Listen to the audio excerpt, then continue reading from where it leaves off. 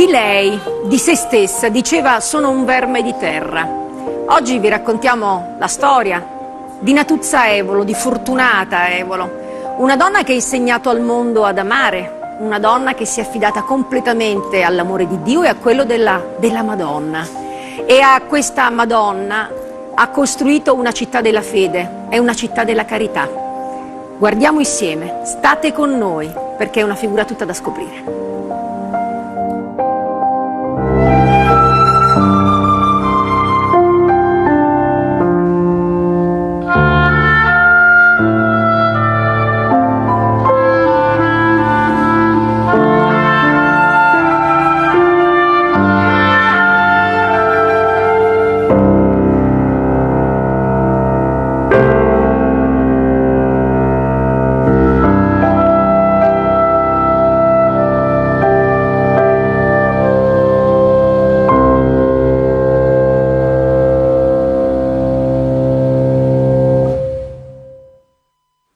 La state vedendo anche nel nostro schermo gigante, l'avete vista in foto, Natuzza Evolo è una donna che ha insegnato l'amore di Dio per tutti gli uomini.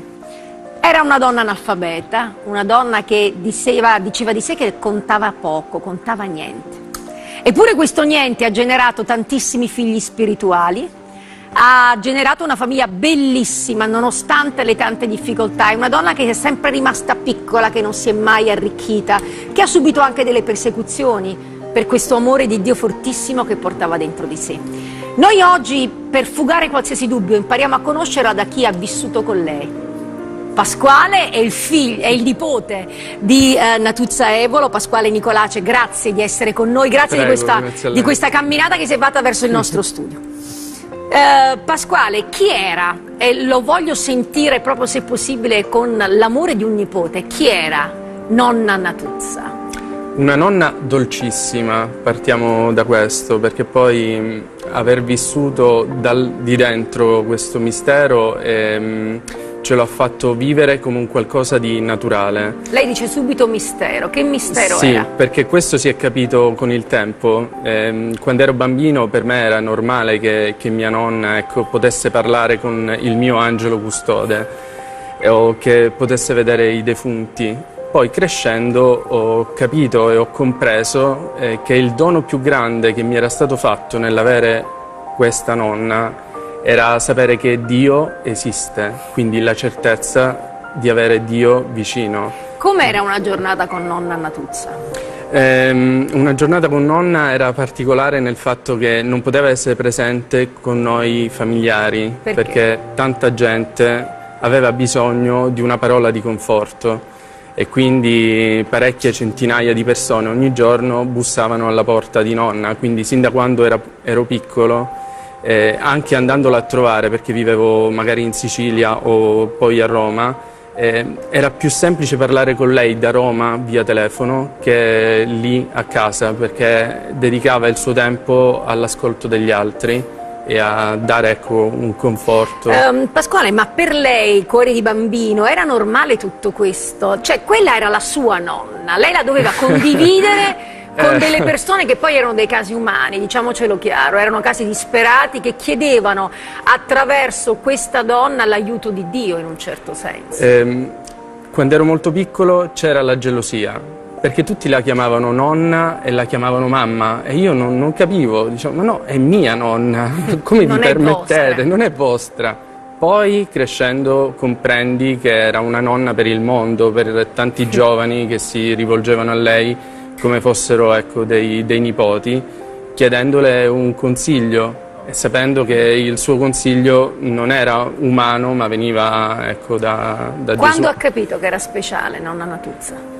Ehm, l'ho compreso mh, intorno ai 10 anni, 12 anni, quando comunque eh, vedendo, ecco, come lei ha detto, quelle realtà di persone molto sofferenti che venivano da lei e magari entravano rabbuiate e poi uscivano con eh, un sussulto nel cuore che dava speranza di continuare. Allora capivo che per tanta gente nonna era ecco, una speranza nel continuare una vita. Pasquale, c'è stato qualche momento in cui sua nonna a un certo punto ha dovuto spiegarle qualcosa? Diciamo una cosa, nonna era analfabeta, sì. nonna non sapeva neanche, met metteva la crocetta. Sì, la sua firma eh? era, era un, uno sgorbio, uno sgorbio uno praticamente. Sgorbio. Eppure attraverso questo angelo con, che ha condiviso, che ha vissuto con lei in un certo senso, lei parlava il linguaggio di chi si rivolgeva, chi a, si lei. rivolgeva a lei. Se parlava sì. con delle persone erudite, si esprimeva in italiano benissimo,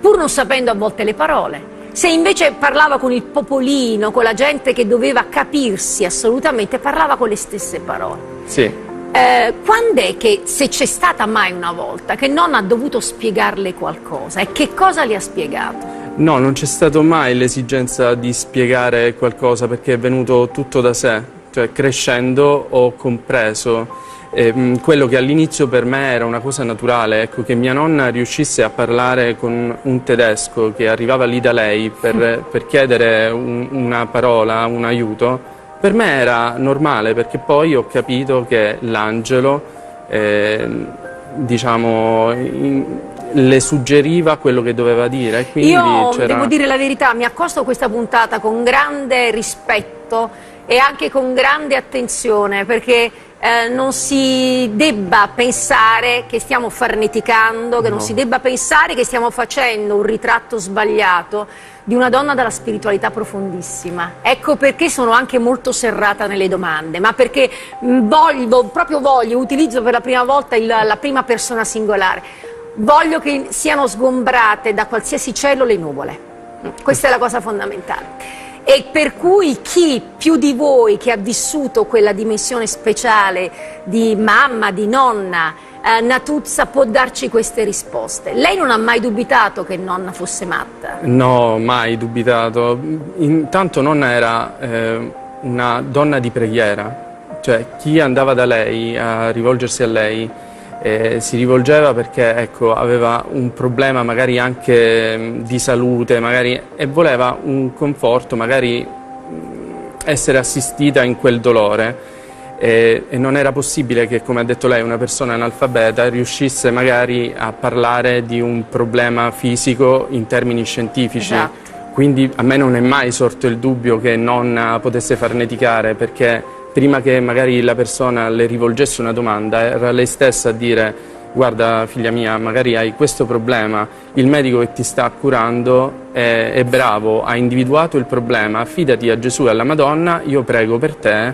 E in quel momento lei si caricava la sofferenza della persona che stava lì, la persona andava via più tranquilla, più serena nell'affrontare la problematica, più leggera. più leggera in un certo senso, sapendo che Gesù e la Madonna e erano a conoscenza del problema e le stavano vicino.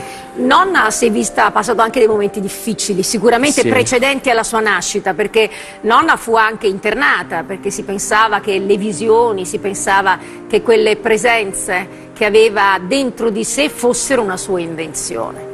Ha mai avuto sentimenti, atteggiamenti di Uh, odio una parola bruttissima che poi non, non, non, si sposerebbe neanche con questa dimensione, ma comunque di risentimento nei confronti di queste persone che l'avevano condannata, che non la capivano. No, mai, ma anche il fatto di aver avuto una famiglia, nonna essendo una persona così di preghiera, magari avrebbe vissuto la sua vita diversamente, ma furono i medici a dire guardate, a consigliare alla famiglia, quando si sposerà tutto finirà. L'isteria passa. Sono, l'isteria passa, quindi lei è sempre stata molto rispettosa e ha seguito quello che, che dicevano i medici, che, che, diceva anche la Chiesa, padre Gemelli che mandò ecco, quella missiva, benissimo.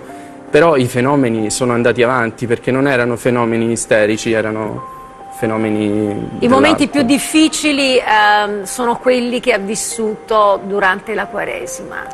Eh, la passione di Cristo nonna la viveva sulla propria carne, dentro la propria carne.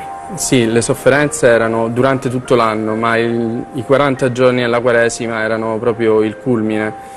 Eh, sono stati momenti molto forti anche per noi della famiglia. Eh, quando eravamo molto piccoli non assistevamo ecco, al venerdì santo noi bambini, però poi crescendo intorno ai 15-16 anni anch'io restavo nell'anticamera eh, durante il venerdì santo che era proprio il culmine della passione in cui eh, viveva tutto il, il, calvario di Gesù. sono stati momenti veramente Lei cosa dolorosi. pensava in quel momento? In quel momento si pregava solamente, e, ascoltando questo colloquio, perché si intuiva che c'era questo colloquio con Gesù e con la Madonna dalle risposte, logicamente non si sentiva la, la domanda di Gesù o la risposta di Gesù, ma si intuiva che c'era questo colloquio, si pregava solamente. E, che non riuscisse... Le carni di nonna sanguinavano, poi ha avuto anche le stimmate sì. ed è una, si chiamano, uh, sono dei fenomeni particolari perché quando uh, provavate ad asciugare questo sangue sul fazzoletto, sulla, uh, sul telo, chiamatelo come volete, rimanevano impresse delle cose, delle scritte, delle immagini, altro fenomeno stranissimo accertato che appunto non è certo figlio di isteria. Lei ci ha portato un dono stamattina. Sì, un fazzoletto che appartiene alla mia famiglia ormai da oltre 40 anni. Come vede è proprio è una, una velina. Sì. E ho quasi paura a toccarlo. Possiamo Mostrarlo a favore, penso, ecco qua, benissimo, fa, fa tutto lei e quindi non so, lo facciamo vedere, posso toccarlo? Sì, Io magari, sono un ecco. attimo titubante, un po'. Prego, prego. Allora, fa, lo facciamo vedere, allora penso, ecco qua, così si vede credo benissimo, vogliamo provare, va bene, parli lei, perché in questo momento non credo che sia sufficiente forse che lei... Ecco, il fazzoletto non era neanche dispiegato, bastava magari detergere i segni della corona di spina a nonna col fazzoletto e poi all'interno eh, si formavano queste emografie. Voi avete letto eh, eh, cioè, l'immagine della Madonna, quella dal cuore grande, è bello, perché lei così la voleva, è chiarissima, ecco, la stiamo vedendo in questo momento, e grazie alla regia per questo lavoro bellissimo che state facendo in questo momento. E poi questa è la presenza di Gesù Cristo, della Madonna, nelle carni in un certo senso di Natuzza, di Natuzza Evolo. Questo lo conservi, lo ripunga, sì. dov'è? Perché questo è qualcosa credo di preziosissimo.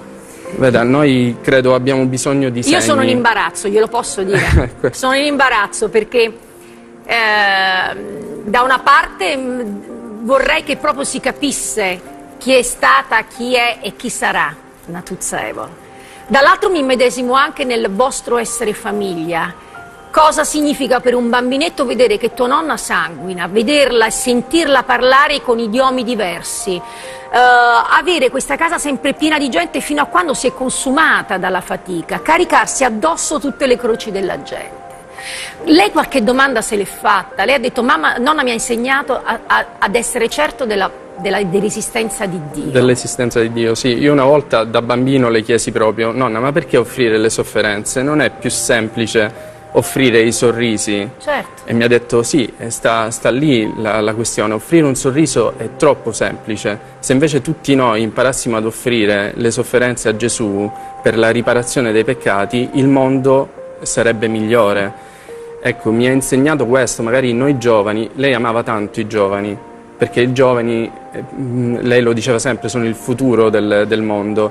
E, um, mi ha sempre detto tu sentiti Gesù vicino e la Madonna vicino, no, non avere mai quella paura di essere da solo. Io ho compreso, perché nella realtà delle, della scuola, comunque stando vicino ai ragazzi, che c'è quello, c'è la paura di stare da soli, alle È volte vero. ci si rifugia nell'alcol o nella droga perché si pensa di essere soli in un momento di sofferenza. Lei mi diceva no, in quel momento pensate a Gesù, pensate alla Madonna, lui è lì a fianco a voi che, che aspetta solo che lo chiamate, cioè ha dato il grande dono del libero arbitrio. Questo è un dono a doppio taglio, perché fin quando noi non cerchiamo Gesù e non cerchiamo la Madonna, eh, loro non possono intervenire, ma quando noi apriamo il cuore a loro, eh, la nostra vita cambia. Ed è cambiata la vita di un intero paese, o meglio è partito il cambiamento da Paravati, questo piccolo uh, comune in provincia di Vibo Valencia, dove ci aspetta la nostra Francesca Cugliandro, che ha una grandissima responsabilità. Francesca, questa puntata come al solito la facciamo in due, quindi mi affido a te perché noi siamo, veniamo a te con il figlio di Natuzza Evolo, con uh, Francesco, Francesco Evolo e proprio a te sarà affidato un compito particolare che è quello poi di farci addentrare nella spiritualità di mamma o nonna Natuzza come vogliamo chiamarla. Buongiorno Francesca, buongiorno. Buongiorno Lucia, siamo nel punto più, più caro qui a Paravati eh, dove c'è la tomba di Natuzza, dove appunto si, eh, si trova il, il, suo corpo e siamo qui con Francesco Nicolace, il figlio, il figlio più piccolo dei cinque di, di Natuzza. Noi poi vi faremo vedere un po' fuori, usciremo a farvi vedere questa piccola fetta di Paravati dove si sta costruendo tanto, eh, opere, opere murarie, insomma strutture, ma soprattutto questa grande spiritualità, questo grande messaggio che, che ha lasciato Natuzza. Tu prima ne parlavi con, con Pasquale lì, quanto è stato difficile per loro, difficile e facile però nello stesso tempo per loro, per la famiglia di Natuzza, eh, vivere questa, questa, dimensione così allargata. Eh, Francesco, eh, la mamma sempre cosa, cosa, vi ha detto? Come vi ha raffigurato un po' la vostra famiglia? Loro sono cinque figli, però lei vi diceva non siete solo cinque. Sì, sì, fin, fin, da bambini ci ha spiegato che, noi, che la nostra famiglia non era composta semplicemente da papà, mamma e dai cinque fratelli, ma eh, eh, noi avremmo avuto tanti fratelli, avevamo tanti fratelli nel mondo perché lei eh, si doveva occupare di tutti e quindi ehm, noi dovevamo condividere il suo amore con gli altri, quindi dovevamo cercare di non essere... Cioè, egoisti e quindi eh, questo ce l'ha spiegato fin da subito, insomma, da, da, ragazzi. Lucia, io cercavo di immaginarmela la vita di Francesco e dei suoi fratelli, questa mamma così buona, semplice, umile, accogliente e che doveva condividere loro con migliaia e migliaia di persone che sempre bussavano alla loro porta. E io chiedevo a Francesco come avete vissuto no? questa vostra fanciullezza, adolescenza, eh, con tante persone in casa e lui, e lui quasi mi ha sorpreso dicendo dicendomi sembrava che non ci fosse nessuno, no? Sì, sì, sì, perché lei ha saputo un pochino conciliare mm, diciamo, questa, questa sua, eh, questo suo impegno che aveva con le persone con poi la vita familiare. Lei si alzava presto la mattina, si alzava alle 3, alle 4, incominciava a preparare, poi ci veniva a svegliare eh, verso le 6 e mezzo quando dovevamo prendere il pullman per andare a scuola, ci portava il caffè. Eh, c'era una mamma che non ci ha fatto mancare niente, Sempre il, pa- il piatto sulla tavola sì, sì, sì, sì, sicuramente. Quando noi eravamo, siamo in cinque, quindi eravamo cinque ragazzi che andavamo, eh, frequentavamo classi diverse, logicamente, quindi, eh, però ognuno di noi quando rientrava a casa poi in realtà trovava lei innanzitutto che apriva la porta, che ci accoglieva, e poi il piatto pronto in tavola, la tavola apparecchiata, quindi niente di, di, di cioè non ci ha fatto mancare niente da questo punto di vista. E poi anche eh, si informava su quello che noi avevamo fatto a scuola stava lì con noi eh, insomma, il tempo necessario per... e poi tornava con le persone. Però questa gente che entrava in casa voi la vedevate, tu da piccolino forse il, eh, appunto il figlio più piccolo sempre in braccio alla mamma, sì, sì, che discorsi si ascoltavano? Eh, diciamo, io fin, fin da bambino Ecco, io mi riferisco in particolare al periodo, periodo prescolare o subito dopo, eh, quando ancora diciamo, i miei fratelli erano fuori, quindi io rimanevo spesso con lei, eh, lei alcune volte mi teneva in braccio oppure io giocavo nella stanza dove lei riceveva perché poi la casa era piccola, quindi eh, in questa stanza da letto lei riceveva queste persone. Quindi io ehm, sentivo lei che conversava con, con, con tutta questa gente e poi la vedevo che mh, rispondeva in maniera così spontanea alle domande eh, poste. Dice l'angelo ha detto che oppure eh, la, il tuo papà defunto ti manda a dire questo, ancora pregate, la Madonna e Gesù dicono che bisogna pregare. Quindi mh, per me questo era Insomma, era, a me piaceva ascoltarla, anche se tante cose non le capivo a quell'età. E, per me era piacevole insomma, ascoltarla, sentirla. Ed era, ed era così naturale che sembrava sì. quasi che tutte le mamme fossero sì, così. Sì, sì, per me io a quell'età pensavo che tutte le mamme avessero, parlassero con gli angeli, parlassero eh, con i defunti, insomma, era, per me era una cosa naturale. Però la parte più difficile eh, per un figlio poi era accettare queste grandissime sofferenze che Natuzza ha vissuto nella sua vita, eh, il periodo soprattutto pasquale, insomma la quaresima, eh, vederla che stava male. Sì, sì, anche lì lei inizialmente noi non capivamo quale, fossero, quale fosse l'entità di questa sofferenza e quale fosse il tipo di sofferenza. Eh, lei sempre ci ha nascosto fino ad una certa età eh, cioè ci parlava quando lei stava male, specie in alcuni periodi dell'anno, eh, e noi chiedevamo mamma che hai, come stai? Dice, sapete ho una colica renale oppure ho eh, un forte mal di testa e basta, cioè le cose finiva tutto lì. E il grande amore di mamma la portava a coprirsi questi maglioni lunghi che coprivano Sì, sì, sì, poi lei aveva delle ferite che noi non, non vedevamo perché mh, mm, spesso portava dei maglioni lunghi oppure delle camicie lunghe che coprivano i polsi e quindi eh, io ricordo anche mio fratello, quello più grande, che ci raccontò, ce lo raccontò eh, tempo fa, che lui ecco, si era accorto una volta di queste ferite, però le ha banalizzato, nel senso che eh, le stava, siccome gli era eh, caduto un bottone alla camicia, quindi lei aveva cercato di, di dice mamma me lo, me lo, riattacchi il bottone, quindi come lei ha preso ago il filo per rialzato il braccio è scesa la, la manica, lui ha visto quindi questa questa questa ferita al polso e ha chiesto e lei dice ah, non ti preoccupare, semplicemente eh, la candeggina che mi ha fatto allergia, quindi, quindi ha banalizzato anche lì.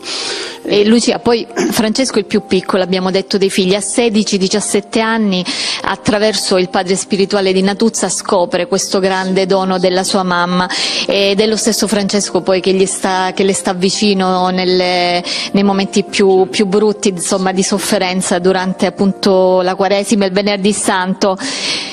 E va bene, quindi poi appunto queste emografie di cui parlavate, che lui quasi si vede accanto no? Nel, sul cuscino. Sì, sì, sì, il venerdì santo spesso ecco, noi vedevamo, cioè, tu, sul, sul, cuscino, cuscino appariva? apparivano delle scritte oppure dei, delle emografie, cioè dei disegni tipo una corona di spine, ehm, delle croci e poi queste scritte che erano indecifrabili perché scritte in diverse lingue, anche in lingue e, antiche. Eccole qui, eccole qui alcune delle, delle emografie di, di Natuzza, eh, appunto il fazzoletto che asciugava e poi si, si, riempiva così di questi segni.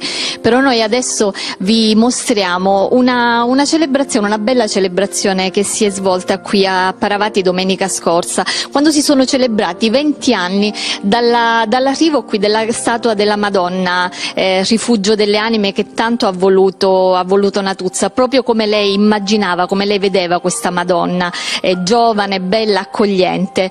E vi facciamo ascoltare alcune delle persone che abbiamo sentito appunto domenica.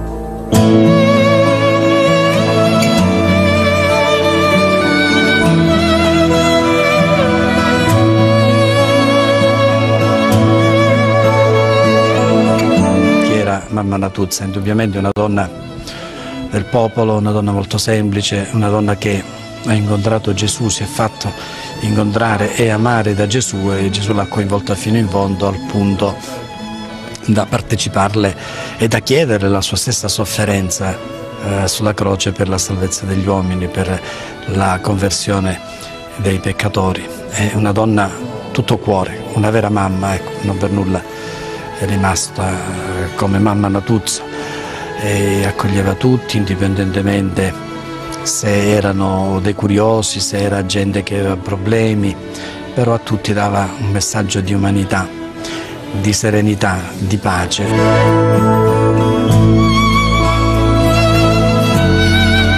Grazie al cenacolo che ci troviamo qui adesso e infatti nel cenacolo abbiamo conosciuto molto di più Mamma Natuzza e la Madonna e ogni volta quindi che veniamo qua proviamo sempre delle emozioni, ritorniamo a casa con un cuore pieno e anche pieno di fede.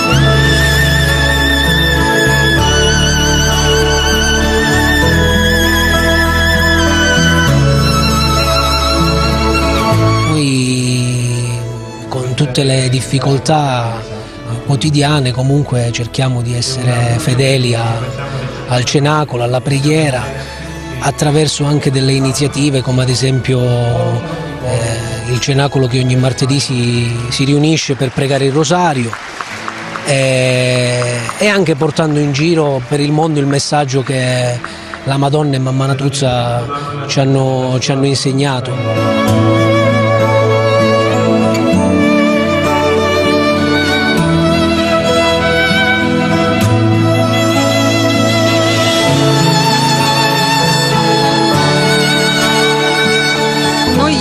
All'interno del Cenacolo viviamo proprio l'esperienza della famiglia perché eh, siamo io, mio marito e nostra figlia di tre anni. E, ehm, viviamo il martedì ma anche eh, le giornate dei giovani che si tengono qui a Paravati una volta al mese, eh, un'esperienza di fraternità, di comunione, eh, di formazione perché nello statuto eh, si parla dei cenacoli come fermento nel cuore della Chiesa e, e, il cammino che si fa qui e che si fa anche a Crotone, nel cenacolo di Crotone, è un cammino anche di formazione per essere davvero lievito all'interno della Chiesa eh, locale, eh, diocesana, ma nel mondo, perché il messaggio della Madonna, di Gesù a Mamma Natuzza ormai ha raggiunto un po' il mondo intero.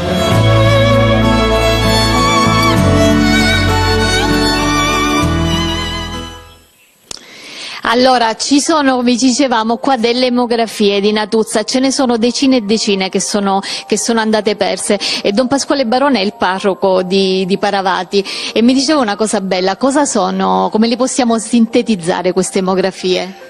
Allora, le emografie sono eh, la particolarità di Mamma Natuzza e sono messaggi essenziali nel segno del sangue e della sofferenza. Delle catechesi, mi diceva.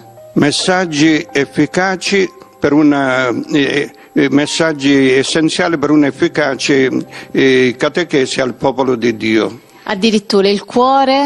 È un cuore che, che si dissangua sormontato dalla croce e dentro il cuore c'è un volto umano e sotto c'è è Dio, quindi il messaggio è chiarissimo. Bisogna Qua ci sono qui i tre pastori e la Madonna, vero addirittura si sì, formano? Sì, c'è um, la bocca di un tunnel che immette in un percorso di luce e al vertice di questo percorso c'è il cuore immacolato di Maria, il cuore immacolato di Maria come a Fatima posta sul leccio.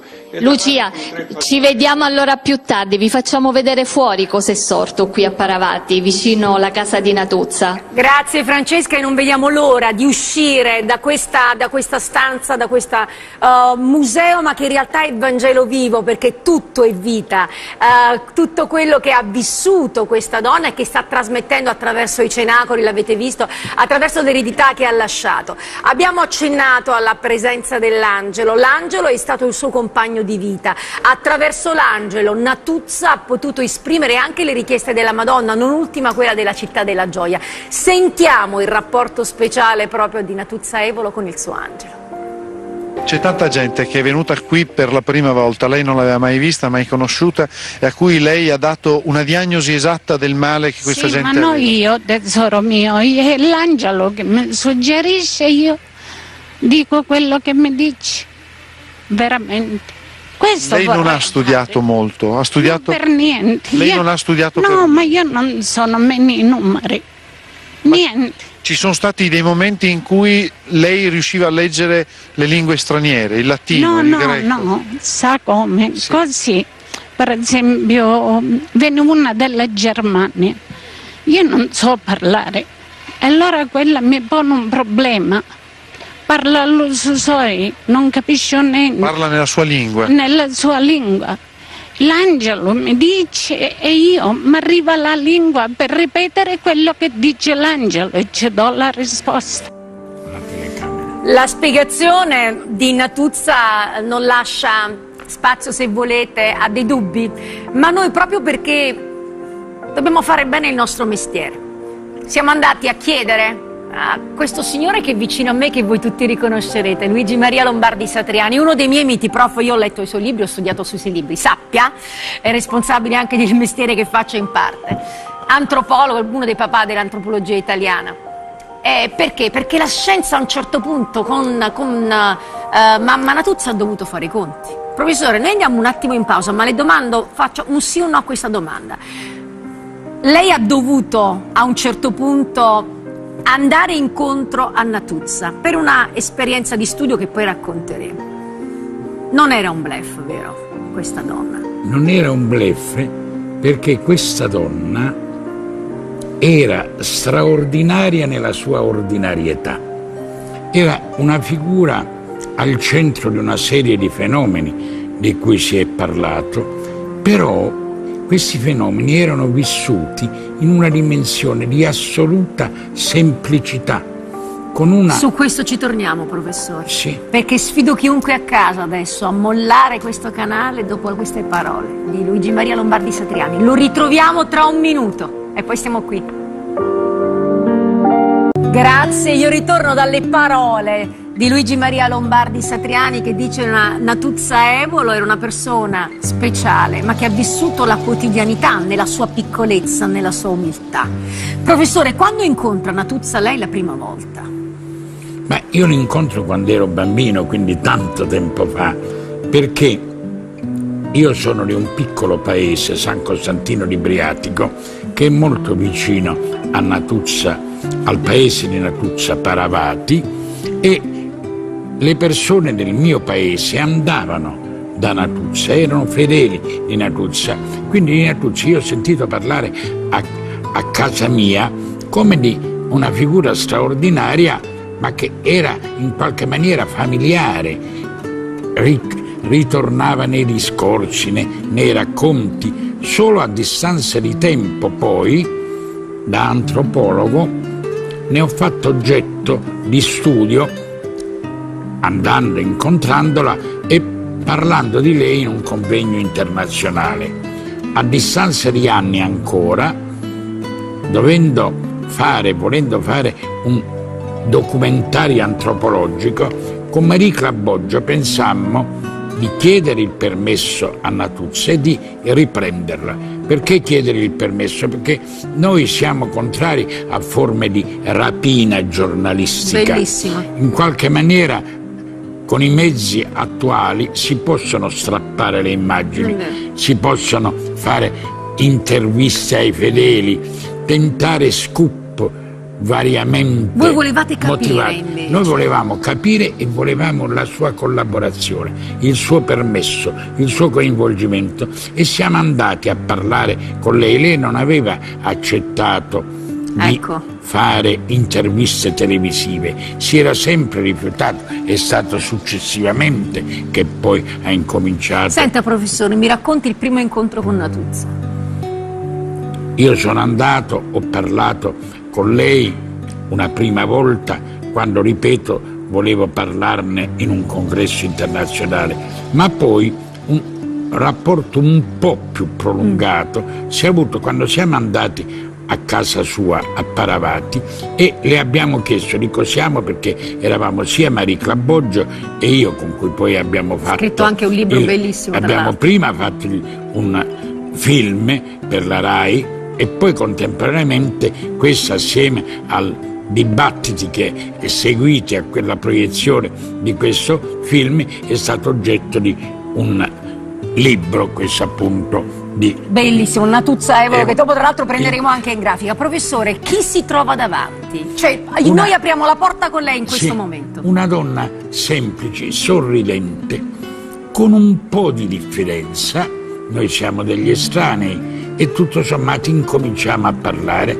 lei ci fa accomodare, noi le diciamo che parlare di lei e di dei prodigi che attorno a lei si sviluppano è anche una maniera di continuare la sua missione, di far giungere il suo messaggio a una platea molto più certo. ampia. Lei non dice né sì né no, dice ne devo parlare con mio marito, anche ah, questa l'ordinarietà di eh? questa donna, sì, ma anche questo affidare al marito, questo Pasquale Nicolace, suo nonno, questa figura di pater familias, di colui che decide anche per la moglie, secondo un modello che è molto calabrese, che è difficile giudicare dall'esterno come una sottomissione, inferiorità della donna, è un riconoscimento di ruoli diversi. Beh, e allora Pasquale Nicolacci dice come vuoi tu, io direi che è una cosa buona e lei accetta. E da questo punto in poi Maria Claboggia e io incominciamo a parlare con le persone per individuare le diverse peculiarità il diverso tipo di intervento. Professore, io devo stuzzicare devo Sì, lei sì, e devo arrivare sì. al suo cuore. Quindi non mi parli adesso da antropologo, ma mi parli da Luigi Maria Lombardi Satriani. Riassumiamo adesso perché si fosse messo in ascolto. Bambino che sente parlare fin da piccolo di, questa, di questa signora, dei prodigi che attraverso la Madonna ovviamente stava compiendo in un certo senso, perché ricordiamoci questa è la differenza tra i mistificatori e chi invece ha la fede. La fede, eh, cioè, queste persone diventano strumenti in mano di Dio eh, e non viceversa, non sono i protagonisti. Lei, che chi si trova davanti, la sua prima impressione, Una donna semplice e buona, una donna sorridente. non ha mai dubitato di lei.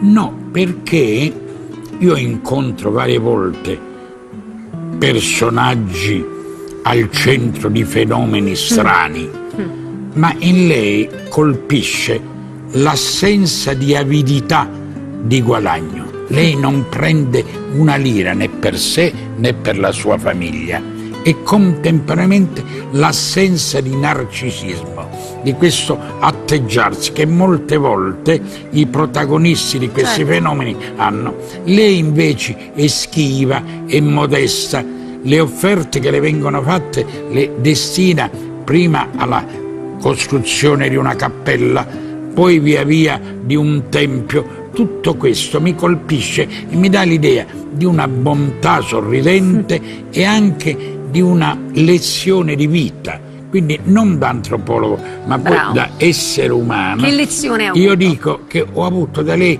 una lezione grandissima di umanità e di- della necessità di essere sempre disponibile al colloquio, al colloquio, non come tecnica di intervista, ma come parlare agli altri e farsi parlare degli altri. Quindi l'importanza della parola come mezzo di comunicazione e di incontro. Questo io l'ho imparato da Natuzza, al di là di qualsiasi atteggiamento fideistico, perché io credo che si può legittimamente riconoscere in lei i segni del divino, si può invece sospendere questo giudizio fideistico e ritenere che è al centro di fenomeni che allo stato attuale delle conoscenze non possono essere spiegati. Ma Certo. quello che è indubbio è che questa donna, così carica di umanità e anche di tensione spirituale, riusciva a incontrare gli altri di diversa formazione intellettuale. Io sono laico, se ancora può valere questa distinzione un po' troppo rigida tra confessionale o laico. Comunque io appartengo a una cultura laica, non a una cultura che dinanzi a ogni cosa si arre- Legge e vede sì, Dio. Certo. arrende le mani e dice Dio lo vuole, perché questo atteggiamento molte volte ha portato nella storia a dogmatismi e a espulsioni, a crociate. Senta, professore, quando lei si è trovato a raccontare di Natuzza in una eh, sessione internazionale, quando eh, ha parlato a scettici in un certo senso, si è trovato a doverla difendere con argomentazione laica, è molto interessante questo punto di vista e noi per questo le abbiamo chiesto di venire qua. Lei qualche volta si è trovato o anche a essere zittito perché qualcuno diceva guarda, stai attento perché non è così. Sì, no- non tanto a difenderla, però a mettere in guardia da atteggiamenti facilistici di giudizio. Io dicevo prima, bisogna guardarsi dai giu- giudizi dogmatici fideistici, bisogna guardarsi anche da dogmatismi razionalistici. Parole Dire- povere. Parole povere è che non si può dire che Natuzza è senz'altro un messaggero di Dio, non si può neanche dire con certezza che è una mistificatrice, anzi le prove che abbiamo è che non è una mistificatrice e allora ce lo dobbiamo spiegare Esatto. questo fenomeno. In qualche maniera allora bisogna rapportarla alla cultura di cui è espressione. Prima Che però, professore, è una cultura anche universale. Le dice giustamente, le radici sono in Calabria, bisogna capire anche quel tipo di devozione, ma attenzione, è se no una- ne faremmo un fenomeno soltanto calabrese No, o no. spiegabile solo alla luce No, di quelle radici. No, non è fenomeno solo calabrese perché venendo incontro alle esigenze del rapporto con il mondo dei morti, con i propri cari, e venen- e entrando in contatto con l'esigenza del dolore, queste sono esigenze universali di superare Ecco, il dolore, ecco. eccetera. Però ah, l'esigenza universale si coniuga a motivi particolari, ognuno parla la propria lingua, anche Natuzza parla la propria lingua, a volte con inflessioni dialettali. In questo senso il riferimento alla cultura Certo, calabrese luogo, è certo. importante per capire e le immagini, le fotografie del passato che mostrano quello che era Paravati Sì, una volta, sì. ci fanno capire un contesto, un contesto che è di emarginazione, ma anche un contesto in cui una cultura elabora il linguaggio del sangue. Lei ha delle stimmate con un processo di identificazione con le sofferenze di Cristo, ma è anche vero che le stimmate segnano col sangue la straordinarietà Certo, di questa certo, figura certo. e questo è da rapportare a quella cultura del sangue che della tradizione anche calabrese, non solo Non calabrese. esclusivamente. Non esclusivamente. Chiarissimo, come vedete anche la scienza a un certo punto e non soltanto l'amore di un figlio, di un nipote si interroga su questa figura che abbiamo detto poi dopo ha lasciato un'eredità, un'eredità che oggi si è tradotta anche in pietre, pietre vive, la costruzione di una chiesa bellissima eh, per la- questa Madonna dal cuore grande che dovesse essere un rifugio per le anime sofferenti. E noi proprio in questa chiesa stiamo per andare, vero Francesca? Sì, Lucia, allora guarda, noi prima parlavamo di Paravati, ce l'abbiamo alle spalle. Natuzza abitava lì in fondo, in fondo al paese, vero Francesco? Sì, nella zona nord del paese, quindi sulla statale 18, ehm, però poi negli ultimi anni della sua vita si è trasferita qui alla fondazione. Vicino alla sua chiesa che stava appunto iniziando a, a venire su. Quello che impressiona di questa, di questa, una delle tante cose che impressionano di questa, di questa vita è che Natuzza, tutto quello che vi faremo vedere, ecco, a cominciare da queste strutture murali, lei le ha cominciato a vedere a 14 anni, quando appunto la Madonna le apparve. Sì, e- sì, e cosa disse? Eh, le aveva- perché lei era preoccupata di aver visto, di aver ricevuto la Madonna nella sua umile casa, che non era ancora quella di Via Nazionale, ma era una casetta proprio misera, e, mm, preoccupata, dice come faccio a ricevervi in questa casa così brutta? E allora la Madonna le disse non, non- non ti preoccupare eh, di questo, noi andiamo anche nelle case umili, eh, perché c'erano Gesù, la Madonna e San Giovanni. Se E che non- cosa disse la Madonna? Ci sarà? ci sarà una eh, nuova e grande chiesa e le disse anche che si chiamerà ehm, Cuore Immacolato di Maria, Rifugio delle Anime. Già le aveva detto anche il titolo, diceva lei, mi ha detto il titolo di come sarà intitolata la chiesa, quindi quale sarebbe stato poi il nome di questo santuario. E Natuzza li vide queste strutture? Sì, sì, li vide, li vide perché la Madonna pare l'abbia presa per mano e accompagnata lungo, i vari, lungo le strade, i viali che ci sono qui in questa Villa della Gioia. Ecco, la Villa della Gioia ecco, è lo stesso percorso che forse vide già Natuzza da allora, ragazzina. Vedete, c'è questo viale grande che poi mh, sarà diciamo, attraversato da un porticato che porterà alla chiesa ed eccola qui dal 2006 quando appunto iniziò la costruzione la, la chiesa che accoglierà almeno 3.000, 3.000 fedeli, vero padre Pasquale? È proprio così, è è un grande complesso ecclesiale composto da un'aula centrale e da tre cappelle, la cappella del Santissimo, la cappella di Mamma Natuzza e la cappella delle confessioni. Eccola qui, qua già la vediamo in pianta. Vedete, come, come se fosse proprio il corpo di Maria, questo grande abbraccio. Giù c'è questo viale con il portico e poi si arriva, si accede alla chiesa e c'è questa Madonna, questo corpo con le, le braccia aperte. Le braccia sono le due cappelle e qui al centro il cuore, la testa e, e ci sarà proprio la tomba di Natuzza che abbiamo fatto vedere prima, sarà, sarà spostata qui. A che punto sono i lavori, Don Pasquale? I lavori sono abbastanza avanti e contiamo di portarla a termine entro il prossimo anno 2014. Naturalmente abbiamo bisogno del sostegno di vecchi e nuovi benefattori per arrivare al compimento dei, alle, ai, ai cinque anni del decesso di mamma Natuzza con un risultato insomma, che, fa, che faccia piacere a lei e sia gradito anche alla Madonna.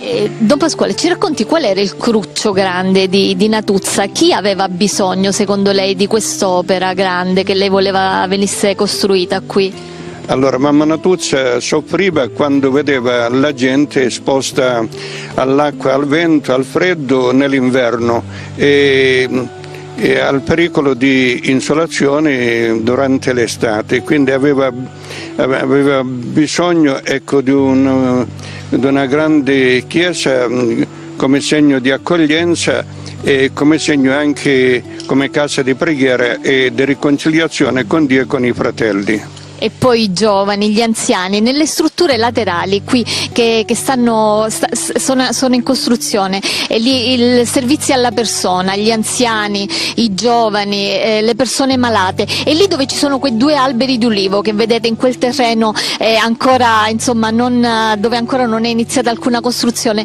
lì è un'altra parte importante per i malati terminali, vero Don Pasquale? Lei eh, voleva appunto la Madonna anche le aveva chiesto che chi vive l'ultima parte della sua vita, nelle sofferenze, abbia un'accoglienza e abbia un sostegno.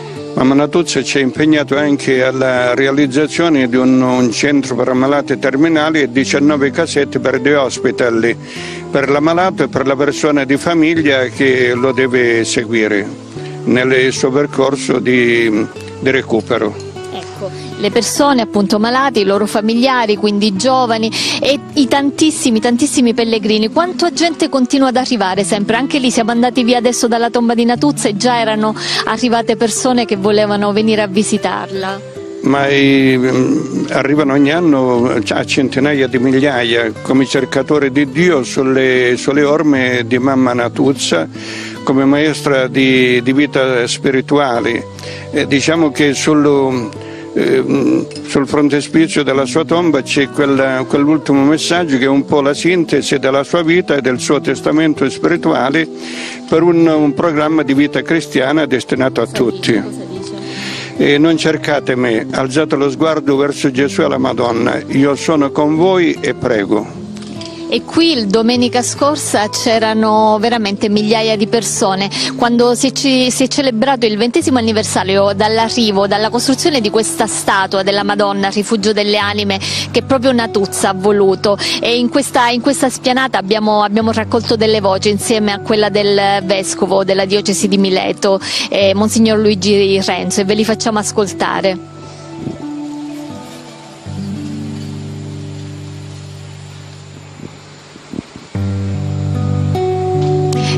Ve li facciamo ascoltare allora tra, tra un po'. Allora. Vi continuiamo a raccontare invece questa, questa grande opera che si, sta, che si, sta, costruendo. Allora, dicevamo, ci sono, ci sono proprio, c'è il cantiere, il cantiere aperto. Al momento eh, a che punto siamo insomma, della, della costruzione? E stiamo provvedendo alle, alle, rifiniture e a tutti gli impianti che, che sono necessari e che poi ecco, porteranno a termine eh, mh, di tutto il complesso dei lavori e quindi alla mm, inaugurazione e consacrazione insomma, che speriamo che eh, da qui a un anno insomma, ecco, possa realizzarsi. Senta, l'ultimo ricordo che ha lei, proprio umano, bello di, di Natuzza e che ci vuole insomma, eh, trasmettere?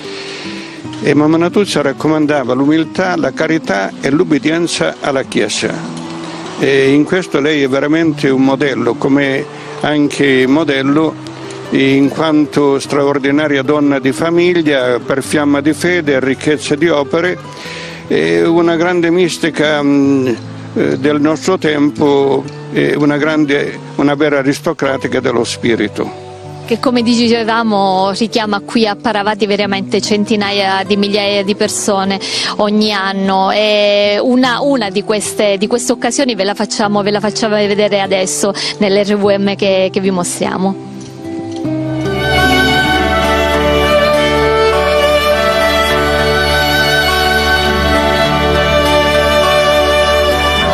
Alla ricerca di qualcosa, soprattutto noi giovani, e quindi abbiamo bisogno di trovarci e di identificarci in qualcosa. E fare parte del, del cenacolo è stato importante per me come per tanti altri giovani, ci siamo confrontati e siamo stati, eh, ci siamo ritrovati, quindi questo poi ci ha spinto a seguire tutto il percorso e a ritrovarci qui da Mamma Natuzza. Punto forte eh, di Natuzza, eh, lei era appassionata dai giovani e mi ricordo una delle prime volte che io l'ho incontrata una, quando sono venuto qui come vescovo e la cosa che mi ha raccomandato è che cura molto i sacerdoti e i giovani, i giovani soprattutto perché sono abbandonati e sono senza guida. E per me è stato un messaggio ha, di cui mi sono lasciato anche coinvolgere perché mm, operare, investire sui giovani credo che significa recuperare eh, lo spirito, la vivacità, il senso vero del Vangelo. Vorrei essere da esempio per tutti i giovani, portare la parola di Gesù e del Vangelo e diffonderla, perché c'è tanta cattiveria nel mondo e questa parola deve, deve dare gioia nei nostri cuori. Voglio essere proprio un esempio, che la mia, la mia presenza qui sia ad esempio per la mia famiglia, per il mio ragazzo, per le persone che conosco, anche per quelle che non conosco.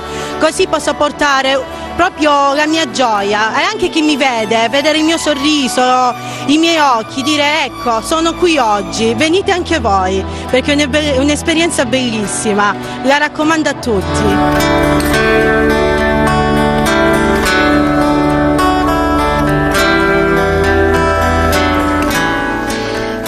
Luci, allora io vi avevo presentato Francesco come, come l'ultimo dei figli, l'ultimo dei, dei, cinque figli, invece non è così perché Natuzza cosa diceva? Non è così perché mh, lei parlava poi di una sesta figlia, la sesta figlia era la Fondazione Cuore Immacolato di Maria che era mh, la figlia diciamo più piccola in ordine così cronologico, però era la più grande, la più amata perché era voluta proprio eh, dalla Madonna eh, quindi la più importante diciamo. Ecco. Sì. Allora qui da dove c'è il segno forte di questa sesta figlia più amata che poi è la figlia che condivideva veramente con tutto il mondo Natuzza e qui da Paravatti quindi vi, vi salutiamo Lucia, buona, buona, continuazione. Grazie, grazie, ma per il lavoro bellissimo che avete fatto puntuale perché siete stati i nostri occhi eh, su, questa, su questa anche sesta figlia, bellissima definizione di una fondazione che abbiamo detto è solo uno strumento per completare completare, per continuare se volete eh, quello che Dio e la Madonna hanno raccontato a questa donna.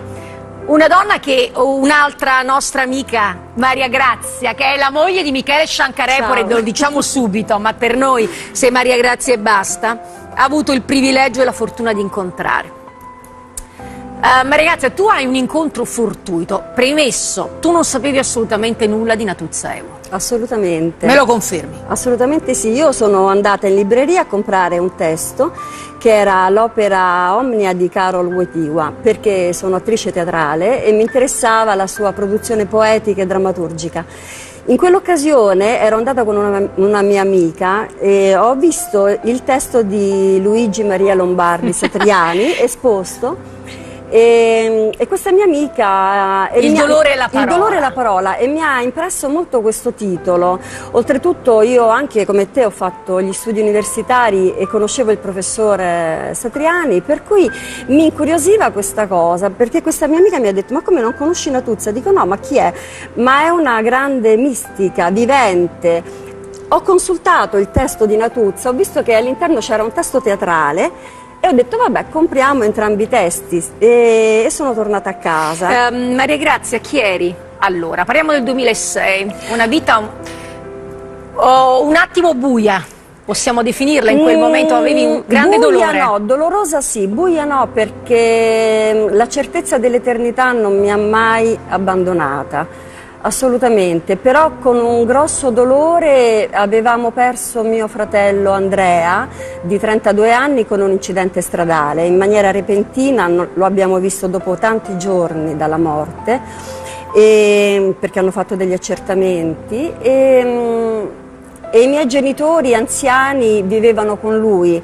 Andrea aveva anche una malattia renale e non era sposato e viveva nello stesso stabile dove io e Michele attualmente viviamo. Era innamoratissimo della vita, era un ragazzo gioioso, pieno di vita e era amatissimo dalle nostre figlie, da Arianna da Giulietta e i miei genitori, insomma, oltre ottantenni, hanno e me anche ovviamente abbiamo visto Andrea eh, scomparire improvvisamente.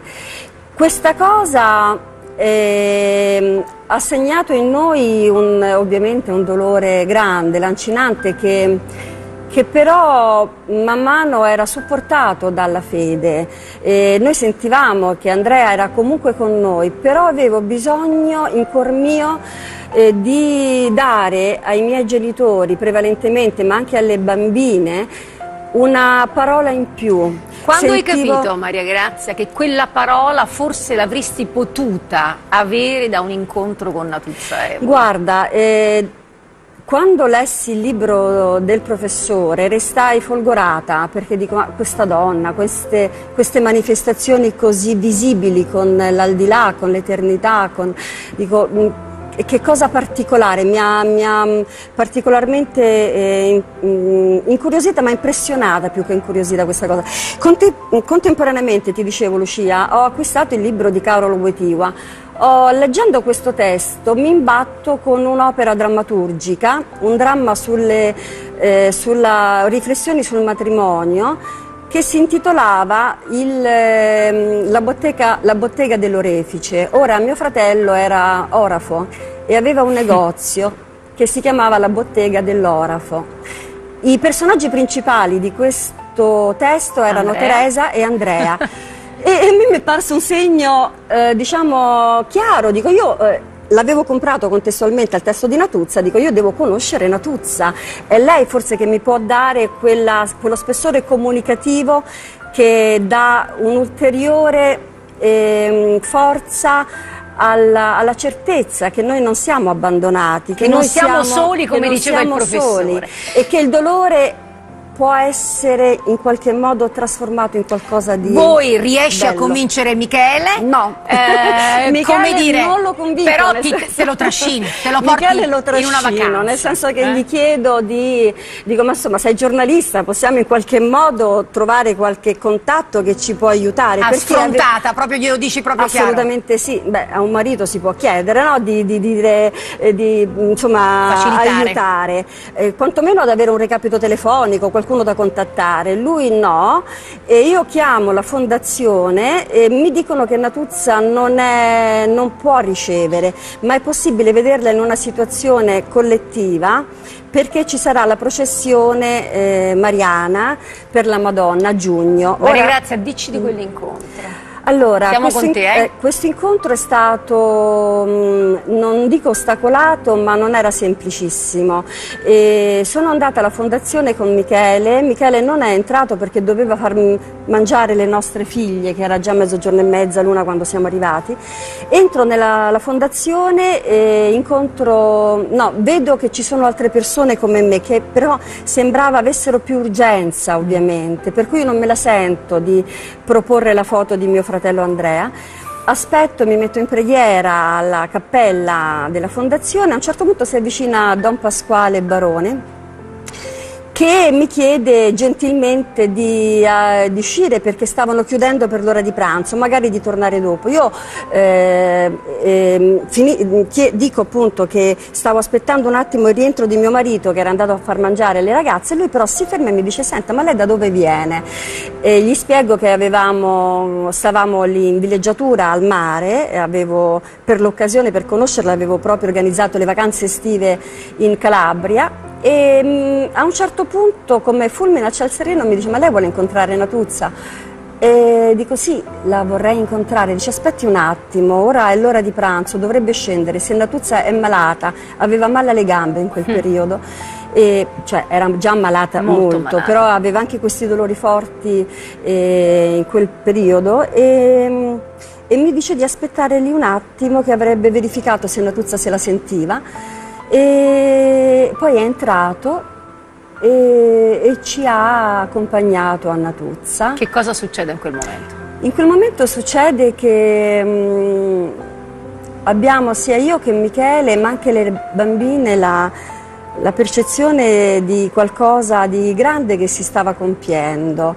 E, mh, io propongo, ecco, Don Pasquale mi dice di fare poche domande, io ero arrivata lì con una serie di, di, persone da sottoporre a Natuzza, alcune di queste erano anche figli di alcune mie amiche, però Don Pasquale mi ha detto no, una, due, non, non, è, non possiamo stare molto. Propongo la foto di mio fratello, Natuzza mi guarda e mi dice Andrea sta bene, eh, sta in un posto bello, prega, prega per lui, mm, non trascurare la messa, ma io mi sento, mi sento supportata, cioè eh, mi ha dato le parole che io volevo. Anche da raccontare a mamma e papà? Da raccontare a mamma e papà, io sono tornata con una forza grande e mamma e papà tutt'oggi sono grati di questo incontro e non solo loro perché poi sono, si sono verificate altre opportunità, ma la cosa bella è che poi Michele ha proposto la foto di suo padre e Natuzza ha, ha detto che lo conosceva che era tanto che era morto Domenico e che, lo, e che era morto di un brutto male. E anche per Michele, insomma, sono state parole di ehm, grande Questo conforto. primo, primo uh, incontro, se volete, ne ha avuti altri, nel senso che voi siete rimasti con il vostro cuore nella fondazione, Sì. voi avete fatto in modo da poter raccontare, tra l'altro abbiamo visto delle foto bellissime anche tra Michele, con Michele e, e Natuzza, ehm, perché evidentemente quella presenza vi ha cambiato la vita. Ma Maria Grazia, tu tra l'altro sei un'attrice, sei una donna, se possiamo dirlo, anche abituata alla vita del mondo, eh, tu vivi anche il palcoscenico, eccetera. Che cosa ti ha insegnato Natuzza? In che cosa ti ha cambiato? Tu hai detto prima, mentre parlavamo tra di noi, era un incontro di quelli che ti cambiano la vita. Come? Allora, Natuzza, eh, la premessa importante è che di fronte a Natuzza tu, eh, tu vedi proprio il candore, tu vedi quella semplicità che vedi nei bambini, che hanno eh, la semplicità data dal fatto che per loro è la normalità, no? quello che ti dicono, quello che fanno. E io con Natuzza diciamo, ho imparato l'autenticità della mia arte interpretativa forse. Io lavoro in teatro da tanti anni, però mh, mi ha trasmesso la forza della normalità, della semplicità. Come donna? Come donna c'è stata una cosa bellissima, quando siamo tornati l'anno successivo a Natuzza ho chiesto, essendo lei mamma di cinque figli, e essendo io piuttosto affaticata e stanca del, del, diciamo, del ruolo educativo, stanca nel senso, non, eh, nel senso dell'impegno Certo, che richiede, certo. ho chiesto a Natuzza dimmi come hai fatto come mamma? E lei mi ha dato tre parole che per me e Michele sono state la chiave, ma tutt'oggi sono la nostra forza. Ha detto se- tre semplici parole, ha detto forza, pazienza e amore. E io queste parole le ho impresse. Io mi ricordo quando la giornata si fa dura, si fa difficile, Forza, leggo in queste parole questo Vangelo incarnato, forza, pazienza e amore. E su queste vado avanti. Beh, va avanti in, una, in, un, um, in un mondo che non sempre accoglie delle persone che hanno qualcosa di più forse alto dentro il cuore o perlomeno che vivono questo Vangelo anche nel quotidiano, che poi la nostra sfida è quella. Non riempirci la vita di belle parole, ma vivere quelle parole. Forza, pazienza e, E amore. amore. Questa è l'ABC veramente per qualsiasi condizione si possa, si possa trascorrere in quel momento. Ma ragazzi, noi tra un po' ritorneremo anche a te perché tu ci farai un regalo, del quale ti siamo grati a priori. Noi però ci, mh, se volete, queste valigie le riprendiamo un attimo, le ri- ripartiamo per Paravati e ritorniamo proprio ancora alla testimonianza di Natuzza Evolo. Tanto ancora da scoprire.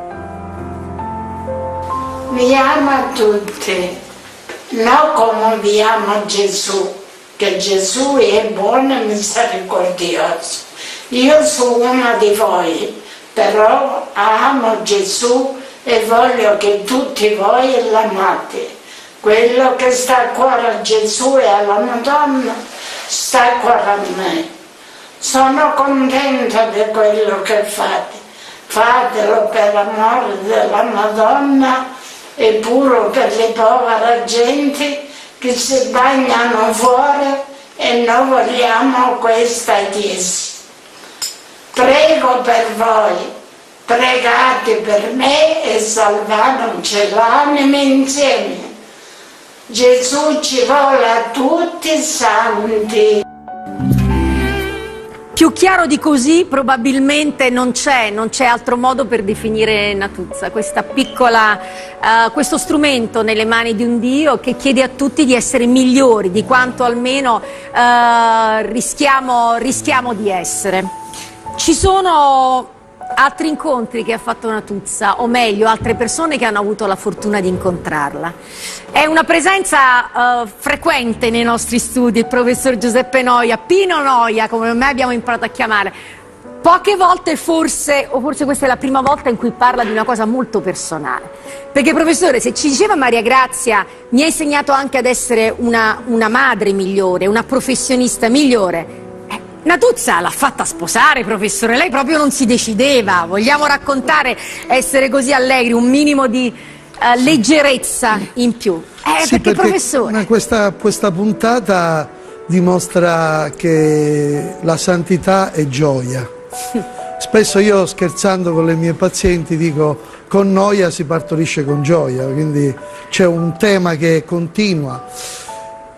Il mio incontro con questa Santa Donna, io la definisco Santa Donna, ma Santa Madre soprattutto, perché Mamma Natuzza è il titolo più indicato. Diciamo, indicato.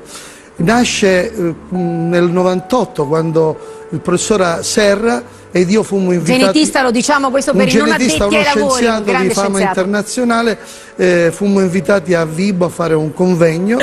In quell'occasione padre Michele disse adesso vi facciamo conoscere una persona eccezionale. Professore, lei che cosa sapeva di Natuzza?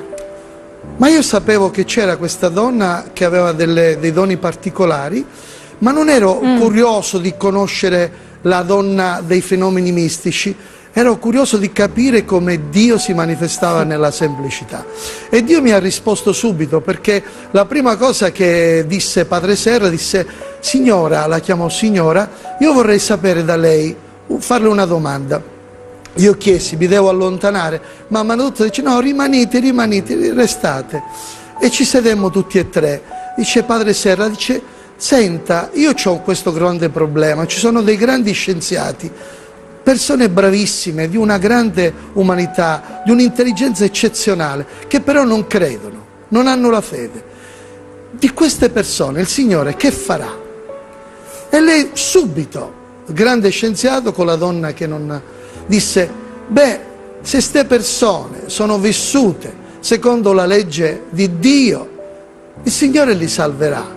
Una risposta semplicissima per dire che Dio non fa distinzioni, e ovviamente una coscienza rettamente ispirata. E padre Angelo Sera fu colpito dalla semplicità di questo fatto. Ma il rapporto tra scienza e fede continuò negli incontri con, con Natuzza. Eh, Natuzza le mandava le pazienti, professore. Sì, da quel io... momento in poi diceva, oh, ora ho il, que... mio, il mio questo... ginecologo, tra virgolette, di fiducia, questo... gli mando le pazienti. Questo è un fatto eh. che mi fa ridere perché a un certo punto, quando la incontrai, una volta mi disse, eh, professore, io ci mando persone, io gliele mando le persone, perché siete coscienzioso, perché diciamo, non voglio fare un elogio di me, ma disse una cosa semplice, siete, ci mettete un po' di interesse, di amore per le persone e una buona parola ci ha diciti sempre, una buona parola gliela dite sempre e poi mi risolvete i problemi nell'80%. Io ho detto, mamma Natuzza, 80% è un po' È un po' troppo. esagerato. Dice, invece... no, diciamo il 30%. No, l'80% me l'ha detto l'angelo. Oddio, quando ho detto così mi sono stato zitto. Sono tornato a Roma e ho visto le schede, io ci metto chi me le manda, mamma Natuzzi, e ho visto che in effetti le donne che non avevano avuto bambini, avevano fatto fecondazione artificiale, eccetera, poi nel 30% avevano ottenuto il bambino con le sue preghiere, col mio modesto impegno, eccetera. Allora ho detto, vedi, stavolta l'angelo si è sbagliato. Però? Però c'erano altre schede. E piglio se schede mamma Natuzza c'erano donne che avevano avuto da due a cinque aborti, quindi anche quelle, un altro 30% avevano avuto bambini. Dico, oddio, vuol dire che l'angelo forse c'ha ragione. E quel 20% chi erano? 30, 60, mancava un 20%.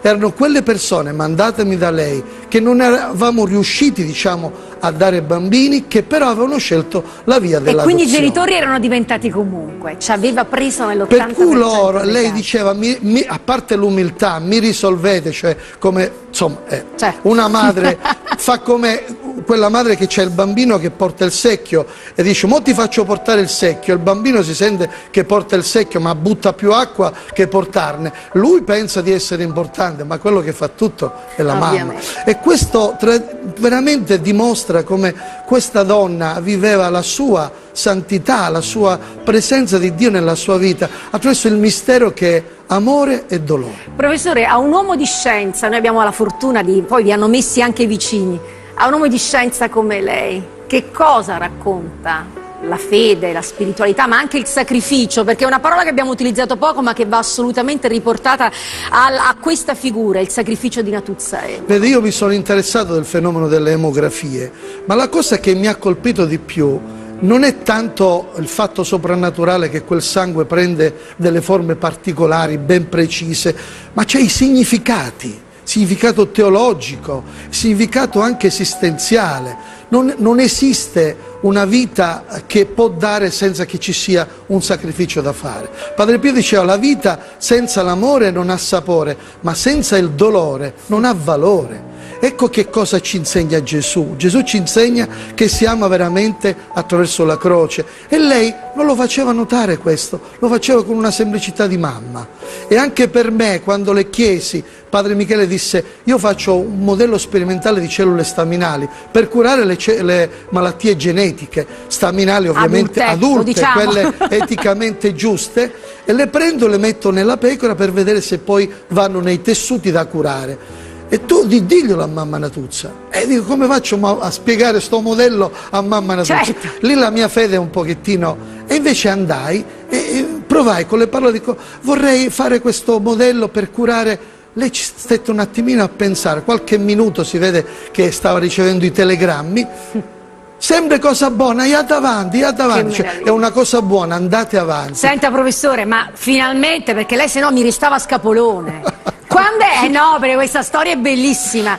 Lei Beh, aveva, insomma, questa avevamo- donna bellissima io- accanto, ma non si decideva proprio. Eh. No, io eh, avevamo un cammino eh, particolare io e mia moglie che facevamo da anni e poi mh, questo discernimento eh, diciamo, è cambiato e avevamo con il nostro padre spirituale già iniziato un cammino di capire se rimanevamo nella posizione di un celibato o di una scelta matrimoniale. Eravamo, dopo la morte del nostro padre spirituale, un po' dell'angoscia di tradire una scelta per un'altra scelta. E quando lei la conobbe, la conobbe anche mia, mia moglie, lei a un certo punto disse, beh, sto discernimento è durato troppo, Ecco. sposatevi, se no io eh, muoio e non vi vedo sposati. E dove vi siete sposati? Le nozze bellissime, professore. Sua moglie è uno schianto, glielo Eh, devo dire. eh, complimenti anche per il vestito. Eh, Scegliete di svegliare. Siamo- abbiamo scelto di sposare nella sua eh, realtà e lei ci ha fatto da mamma. Io mia madre in quel momento stava poco bene, quindi non è potuta scendere con me giù a partecipare. Lei ci ha fatto preparare il letto matrimoniale, ci ha curato veramente nei minimi particolari. A un certo punto mia moglie diceva io devo trovare adesso un parrucchiere. E allora padre mio ha detto un parrucchiere, le abbiamo trovato un centro benessere, ma una cosa, tutti i minimi particolari. Poi abbiamo visto una 500, alcuni amici dicevano c'è questa macchina, questa... abbiamo visto, ma quella, 5 quella ma- è la macchina di mamma Natuzza. E mia moglie disse, no, quella lì vorrei. E, e- e abbiamo- e allora ce l'hanno lavata, ce l'hanno- cioè l'amore che abbiamo ricevuto in quell'occasione era un amore che veniva attraverso questa donna direttamente dal Signore. E noi abbiamo ricevuto anche un mandato. Mamma Natuzza prima di morire siamo andati a trovarla dopo la morte di mia madre in Sila e ci ha detto professore perché non fate un cenacolo di preghiera per le famiglie al Policlinico Gemelli? E io mi sentivo inadeguato, però ho detto io ci provo mamma Natuzza. Sono quattro anni che ci riuniamo una volta al mese, una quarantina di persone per pregare col rosario, la messa è la supplica che lei ha fatto alla Madonna quando aveva nove anni, una supplica speciale in cui lei si confrontava con la Madre di Dio e diceva se non mi fai sta grazia me la devi fare a forza, se no io ti scippo la veste, ti strappo la veste, ti bacio i piedi, mi metto a piangere ai tuoi piedi fino a quando non me la farai. Ecco, io ho fatto pure un concerto dinanzi a lei, perché io mi diletto di fare canzoni e lei ha voluto che ai giovani io cantassi queste canzoni. E alla fine quando ci ha ricevuto nella stanza ha detto bravo professore. e io le dissi, mamma Natuzza, in una canzone ho detto cos'è che resta di questo tempo andato, se non il fiume di quello che tu hai dato? Cos'è che resta di questo nostro andare, se non il frutto di aver amato amare? E tu ci hai fatto sentire amati, grazie. Professor Lombardi Satriani, lei questo fiume l'aveva visto dall'inizio, aveva capito che avrebbe generato una piena tale da travolgere e cambiare le esistenze della gente o a distanza di qualche anno la sorprende, la lascia esterrefatto? No, non mi sorprende, non è che voglia presentare di me l'immagine di uno che Del comprende, profeta. comprende tutto dall'inizio. Quello che però io avevo compreso è che rispetto al dolore dell'esistenza, la risposta di Natuzza era l'amore, era l'andare incontro e l'essere con, il compatire. E questo per me è importante perché mostra che l'itinerario alla conoscenza passa attraverso il dolore. Solo chi soffre sa, lo dicevano i tragici greci. È vero, Quindi è è, un itinerario complesso che però Natuzza, nella sua grande semplicità, comprende e attua. E la attua con un cattolicesimo popolare vissuto in profondità che molte volte ha avuto invece, invece dalla gerarchia ecclesiastica giudizi sprezzanti. Pensiamo a Padre Gemelli e altro. Solo adesso, con il messaggio enorme di Papa Francesco, noi comprendiamo la carica rivoluzionaria Con quella luce nuova e della è semplicità. è verissimo, è è indispensabile. Prima di chiudere con la nostra Maria Grazia, io ho un secondo, proprio una risposta di un secondo. Ma che cosa stai provando in questo momento a sentir parlare così, Pasquale, di nonna Natuzza? Eh, sono contento che il suo messaggio, anche dopo la sua morte terrena, continui ad arrivare a tutti. Quindi ecco, di amare Gesù, di amare la Madonna, di sentirseli vicini, lo dico soprattutto ai miei coetanei. Quando avete dei problemi, chiedete aiuto, vedrete che la vita cambia. Mai soli. Maria Mai Grazia, soli. tu hai scelto la chiusura per noi. Intanto salutiamo anche la nostra Monica Di Loreto che è entrata, una chiusura che forse più di mille altre parole racconta anche la nostra gratitudine agli ospiti, Pino Noia, Luigi Maria Lombardi Satriani, eh, Pasquale, il nipote di eh, Natuzza Evole, appunto Maria Grazia Narducci. A te. Bene, è una poesia eh, sulla speranza, sulla gioia, malgrado la morte e la perdita. Aspettami ed io tornerò, ma aspettami con tutte le tue forze. Aspettami quando le gialle piogge ti ispirano tristezza. Aspettami quando infuria la tempesta.